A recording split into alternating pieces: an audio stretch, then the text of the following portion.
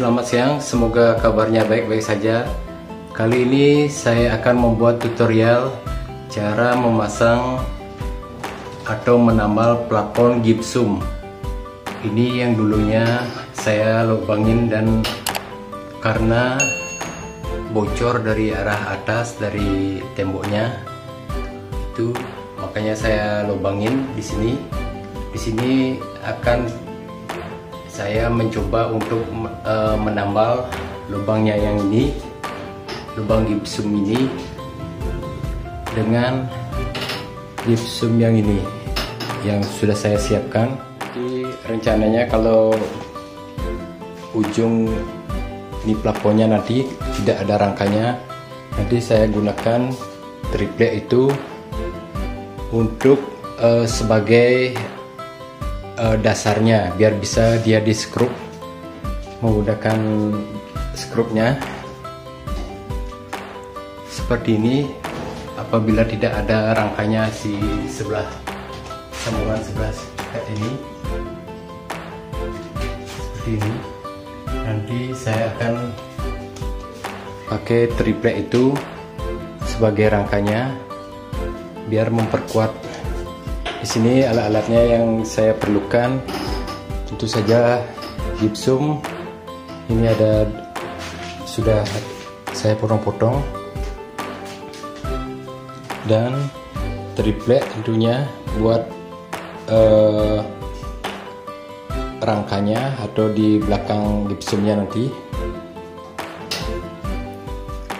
Ini ada plaster atau lakban yang khusus untuk sambungan gipsum itu ada baut-baut gipsum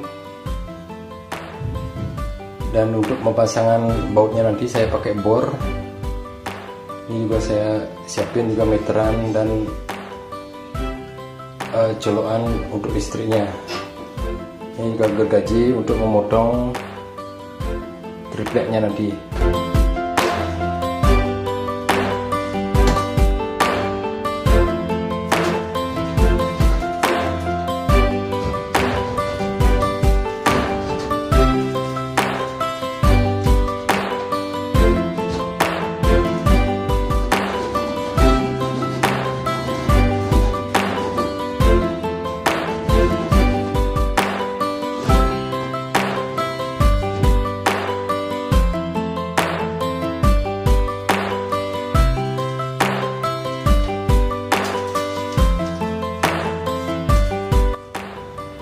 hasilnya seperti itu setelah dipotong bagian pinggir-pinggirnya ini sudah persegi dia lumayan lurus.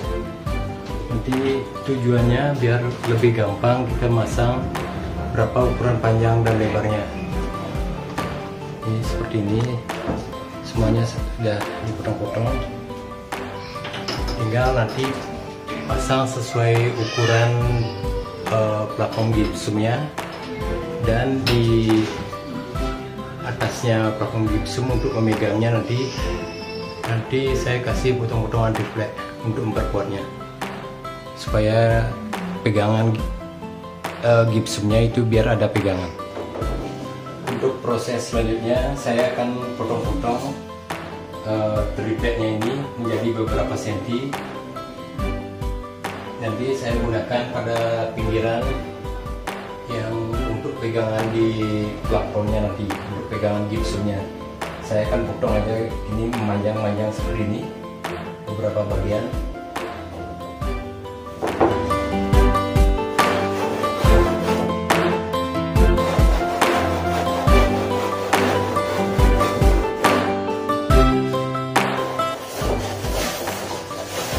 Menjadi bagian seperti ini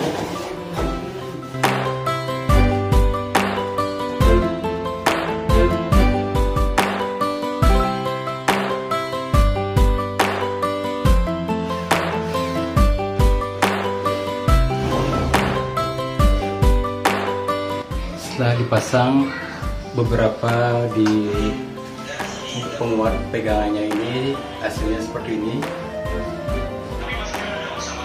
Ini dia pegangannya supaya dia nanti menyambung dan lebih kuat untuk di karena rangkanya ini ada di sini di sebelah sini pas sekali di pinggirnya. Dan untuk itu untuk pegangannya nanti saya kasih triplek aja waktunya untuk pengukuran seberapa besar panjang dan lebarnya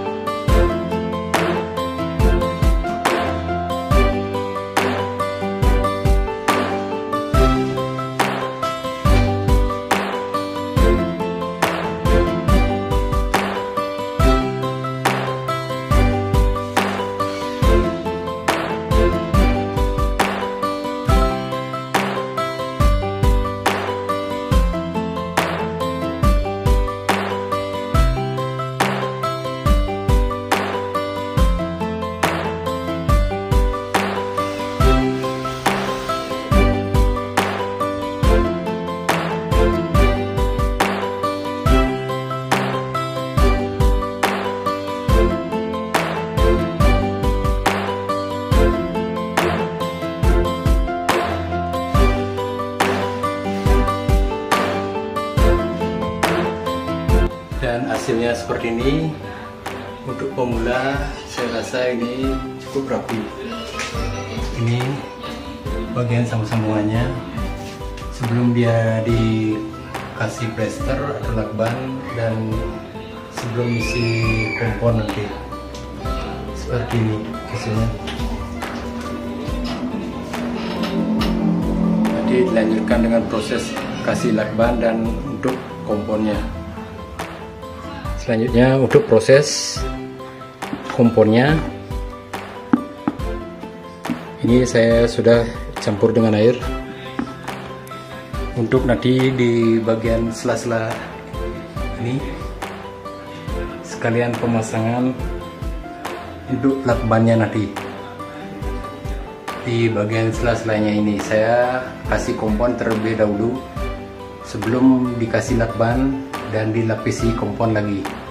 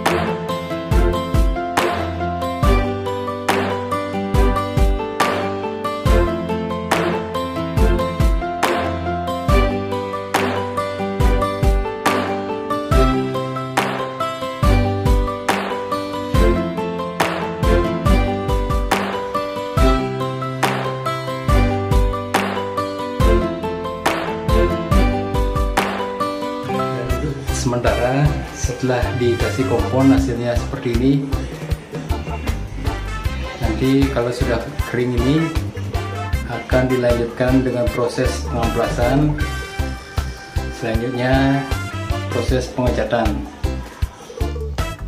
Demikian sedikit tutorial cara pemasangan atau penempelan plafon gipsum bagi pemula.